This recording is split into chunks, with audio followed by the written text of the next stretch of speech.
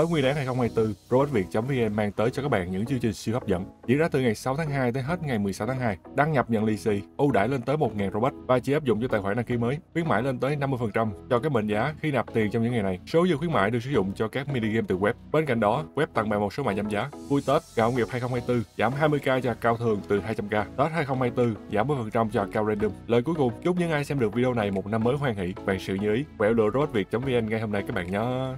Chào mừng các bạn đã quay trở lại với kênh của mình trong tựa game Toilet Tower Defense cập nhật mới nhất. Cập nhật game này chúng ta tên là Titan Update, xuất hiện thêm rất nhiều, cụ thể là 5 con. Nó đều mang tên là Titan. Chúng ta sẽ có Titan Crewman, đây là con unit multiverse thứ hai. Con đầu tiên của mình là Titan Clockman, 699 robot. Thì con Titan Crewman cũng là Lucio, mua bằng robot, 599. Hai con này chung vũ trụ với nhau nè. Vũ trụ của Dome Studio ha. Game Toilet Tower Defense này đã bắt đầu mở rộng ra rồi. Nên kỳ vọng trong tương lai sẽ có rất nhiều con unit đặc biệt Game này cũng chế khá là nhiều nha mọi người nha. Họ chế thường trong các sự kiện á, ví dụ Giáng sinh nè, Halloween nè, Thanksgiving nè. Rồi bổ sung thêm chúng ta một cái rương, một cái rack, đó là Injure Titan. Nó gọi là Titan cứu hộ bạn, Titan cứu thương ha. Một cái rương siêu mới. Cái rương này sẽ mắc hơn cái rương Booster. Thông thường một cái rương có giá là 200 gem. Nhưng mà cái rương này nó xịn sò hơn nên sẽ mắc hơn, giá là 500 gem. Thì trong cái rương này sẽ bao gồm ba con Titan mới được nâng cấp từ Titan cũ, tức là nó không phải là mới, nó là con cũ được thay đổi về vũ khí thôi.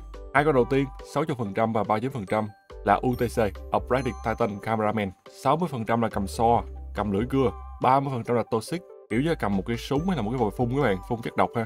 Thì các bạn lưu ý á, hai con này tỷ lệ khác nhau và con 39% thì đương nhiên sẽ mắc tiền hơn. Ngoại hình giống nhau nên mà khi bạn đi trading nhớ nhìn kỹ cái tay của nó coi nó cầm cái gì. Cái cưa màu xám xám, cái toxic màu vàng, nhìn nhầm là chết luôn á nha. Và cuối cùng là UTS Operatic Titan Speakerman, kiểu là cao cấp hơn xíu.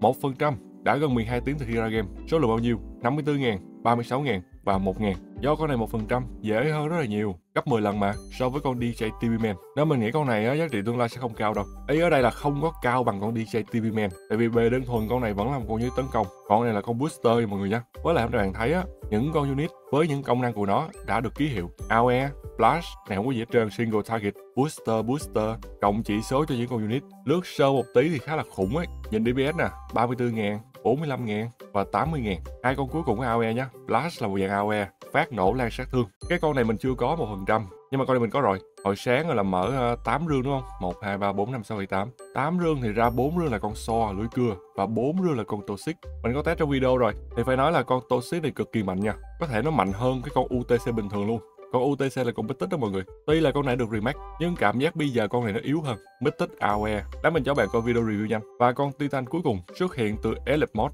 Cái bữa trước mình có review với các bạn á, Nó là trong tương lai, Dev sẽ làm cho Elite Mod thú vị hơn Bằng cách là thêm vào một cái giải thưởng, Đúng không? Top 100 Top 100 Elite Mod nè. Ngày hôm nay thì cũng trên trăm quay rồi. Top 100 nhận được một con unit siêu đặc biệt. Upgraded Titan realman cứ sau mỗi 7 ngày nha. Tại vì cái này reset mỗi 7 ngày. Vậy nên các bạn thấy, mỗi một tuần, chúng ta chỉ có thêm 100 con Upgraded Titan Crewman mà thôi. Thêm một vài thông tin về con này. Con này cấp độ Ultimate Ultimate Tier, The only way to get him là trong top 100 chế độ Elite Mod khi mà nó kết thúc. Và đáp ghi là con unit này chỉ trên bảng leaderboard trong khoảng thời gian thôi. Nghĩa là trong tương lai có thể thay đổi con khác. Và đây là con unit đầu tiên có series nếu bạn chơi từ Gamepad thì sẽ biết mỗi một đợt 100 con. Cho nên con đầu tiên của đợt này là đánh số 1 tới số 100 sau khi reset 7 ngày. Là có con khác đúng không? Bắt đầu đánh số từ 101 tới 200 cho nên cái số càng cao đồng nghĩa với việc nhận con unit đó càng gần. Những con đánh số từ 1 tới 100 mình nghĩ sẽ rất là có giá trị tại vì nó là nguyên thủy nó là đầu tiên. Rồi bên dưới này là review sơ sơ thông tin về những con unit Lucio khác ha. Với cập nhật kỳ này một số con unit cũ đã có tác động bởi cái booster UTC nè, UTS nè, Cameraman, Speakerman, TV Woman. Thì cái này mình nói hồi trước rồi ha. Mấy con unit cũ developer làm chưa kịp Từ từ họ làm. Thì tới ngày hôm nay bổ sung thêm vài con UTC, UTS khi bạn gắn booster vào. Ok, hết rồi các bạn. Có cái chỉnh sửa về giao diện á Làm nãy bạn chỉ vào nè. Chỉ vào những con unit bên dưới từ 1 tới 5 Nó vẫn hiện ra chỉ số. Cũng tiện ha sau này có review khỏi bấm vô inventory đi coi. Ok nói nhanh về sức mạnh của con Toxic. Thì bạn thấy ở đây Nó có flash, gây nổ AOE Và thêm một dòng chỉ số là slowing làm chậm. Luôn luôn là 25% Khá là ghê gớm. 25% luôn luôn thì nó giống như là con Flame Brewer nè, cũng là 25%. Rank rất là cao luôn á, 65, từ 20 đến 65. Cooldown rất nhanh. Lúc bắt đầu là 0.25 giây rồi và về 0.2 giây. Xuất hiện video nha, mới test hồi nãy luôn. Mình test map Toilet City. Những quay đầu tiên rất bình thường, đặt farm ra, phủ bằng green laser.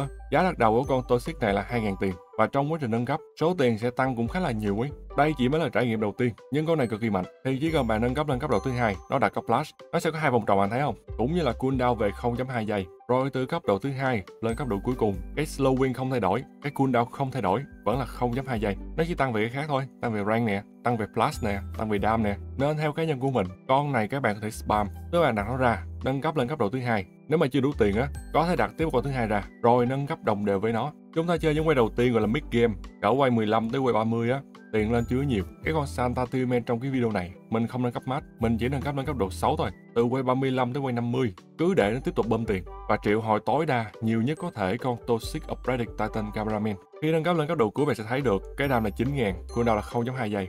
Nên chạy ra DPS nó là 45.000. Mình win được map này gọi là chơi thông thả, thư giãn, nhưng vẫn win map này với khoảng 17 phút. Nếu mà nghĩ con này các bạn thể dùng để speedrun được. Chỉ nói riêng map Toilet City thôi nha ok, quay trở lại màn hình video này. Những con khác mình chưa test. Có thời gian mình sẽ test trong những video khác, ha.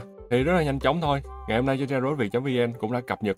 Cập nhật toàn bộ unit mới cũng như là rương mới. Khi bạn có nhu cầu có thể truy cập thử, con Pack May Cameraman và Plan Brewer Cameraman vẫn đang giảm tới 40%. Con này giá cao, khoan hoảng, hốt các bạn. Mình có đề cập ha, con này một tuần chỉ có 100 người có thôi. Với lại mình nghĩ không cần mua đâu. Thay vào đó thì bạn thấy cân nhắc mua những con khác. So Upgraded Titan Cameraman nè, Toxic nè, hoặc là Titan Crewman, đệ tử của con Upgraded Titan Crewman. Con này cấp độ Lucio 599 Robux. Thì quảng cáo sương sương và review cập nhật mới Titan đổ bộ Toilet Tower Defense. Hẹn gặp lại các bạn những nội dung tiếp theo. Xin chào. Video hay không? Hay thì like với xe đi. Chờ gì nữa? Đăng ký kênh chưa? Coi chùa hoài à. Kỳ ghê á.